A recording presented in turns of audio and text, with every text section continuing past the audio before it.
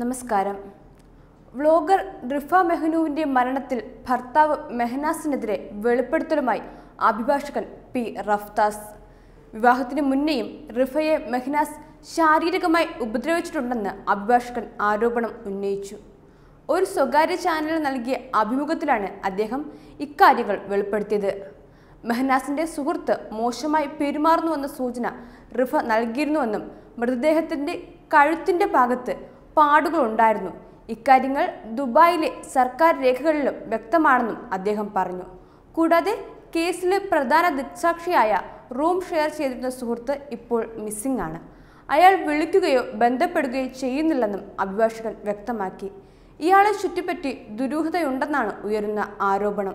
റിഫ മരിച്ച ഉടൻ തന്നെ കരഞ്ഞുകൊണ്ട് ഭർത്താവ് സോഷ്യൽ മീഡിയയിൽ വീഡിയോ പോസ്റ്റ് ചെയ്തത് ഗൂഢാലോചനയാണെന്നും പറയുന്നു. റിഫയുടെ സഹോദരനും ബന്ധുക്കളും ദുബായിലുണ്ട്. റിഫ ഒരു പൊട്ടത്തരം ചെയ്തു. അവൾ ആശുപത്രിയിലാണ്. എന്നാണ് മരണത്തിന് പിന്നാലെ മെഹനാസ് സഹോദരനോട് പറഞ്ഞത്.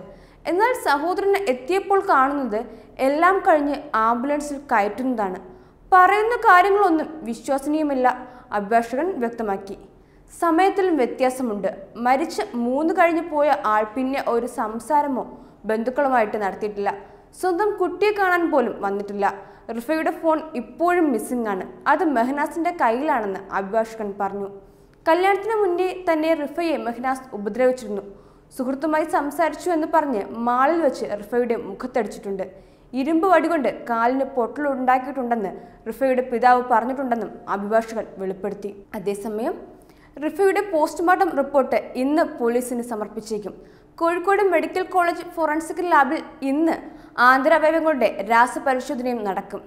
കഴിഞ്ഞ ശനിയാഴ്ചയാണ് മൃതദേഹം കബറിടത്തിൽ നിന്ന് പുറത്തെടുത്ത് പോസ്റ്റ്മോർട്ടം നടത്തിയത്. മാർച്ച് ഒന്നിനാണ് റിഫയെ ദുബായിലെ ജാഫിയാലിലെ ഫ്ളാറ്റിൽ ആത്മഹത്യ ചെയ്ത നിലയിൽ കണ്ടെത്തിയത്. എന്നാൽ മകൾ ആത്മഹത്യ ചെയ്യാൻ സാധ്യതയില്ലെന്ന് ചൂണ്ടിക്കാണിച്ച് മാതാപിതാക്കൾ പോലീസിൽ പരാതി നൽകിയിരുന്നു. എന്നാൽ റിഫയുടെ പോസ്റ്റ്മോർട്ടം റിപ്പോർട്ട് ഇന്ന് പോലീസിന് ലഭിക്കും. ഫോറൻസിക് വിഭാഗം മേധാവി ഡോക്ടർ ലിസ ജോണിന്റെ നേതൃത്വത്തിലായിരുന്നു പോസ്റ്റ്മോർട്ടം. ദുബായിൽ റിഫയുടെ പോസ്റ്റ്മോർട്ടം നടത്തിയിരുന്നില്ല. താമരശ്ശേരി ഡിവൈഎസ്പിയുടെ നേതൃത്വത്തിലാണ് കേസ് അന്വേഷണം നടക്കുന്നത്. റിഫയുടെ മാതാപിതാക്കൾ ബന്ധുക്കൾ സുഹൃത്തുക്കൾ എന്നിവരുടെ മൊഴി രേഖപ്പെടുത്തിയിട്ടുണ്ട്. റിഫ മെഹ്നുവിന്റെ മൃതദേഹം പാവണ്ടൂർ ജുമാ മസ്ജിദിലെ ഖബർസ്ഥാനിൽ നിന്നായിരുന്നു പുറത്തെടുത്ത് മെഡിക്കൽ കോളേജിൽ പോസ്റ്റ്മോർട്ടം നടത്തിയത്. കഴുത്തിൽ ആഴത്തിലുള്ള അടയാളം കണ്ടെത്തി. ഈ അടയാളം മുറിവാണോ എന്ന കാര്യം ഇതുവരെയും വ്യക്തമായിട്ടില്ല. കൊലപാതകത്തിന്റെ സൂചനയുണ്ടെങ്കിൽ അന്വേഷണം ദുബായിലേക്ക് വ്യാപിപ്പിക്കും. മാർച്ച് ഒന്നിന് രാത്രിയാണ് ദുബായിലെ ഫ്ളാറ്റിൽ റിഫയെ ആത്മഹത്യ ചെയ്ത നിലയിൽ കണ്ടെത്തിയത്. ദുബായിൽ റിഫയുടെ പോസ്റ്റ്മോർട്ടം നടത്തിയെന്ന് പറഞ്ഞ് ഭർത്താവ് മെഹനാസും സുഹൃത്തുക്കളും കബളിപ്പിച്ചെന്ന് കുടുംബം ആരോപിച്ചിരുന്നു. തുടർന്ന് ഇക്കാര്യം സൂചിപ്പിച്ച് പരാതി നൽകുകയും ചെയ്തിരുന്നു. Web desk Tatwamayi news.